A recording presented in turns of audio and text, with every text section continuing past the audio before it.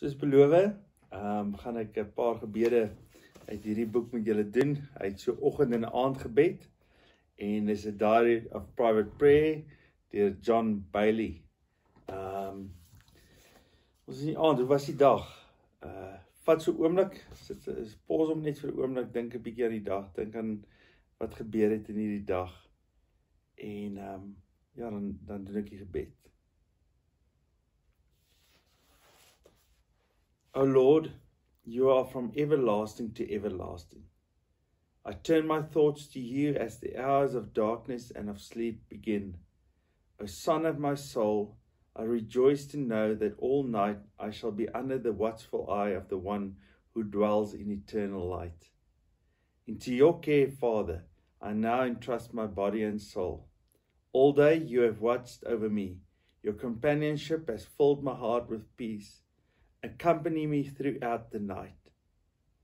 Give me sound and refreshing sleep.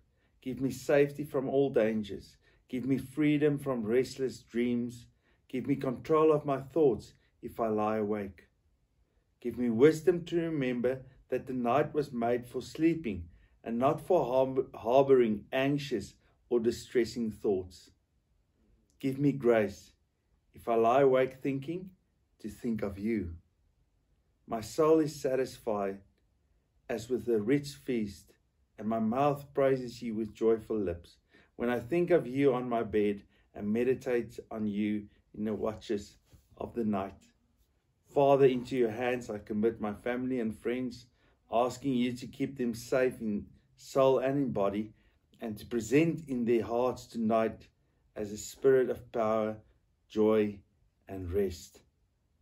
I pray also for those who I I pray also for those I work with, those around me, those nearby who are unknown to their neighbors, and all those beyond whom I don't know, but who are dear to you, through Jesus Christ our Lord.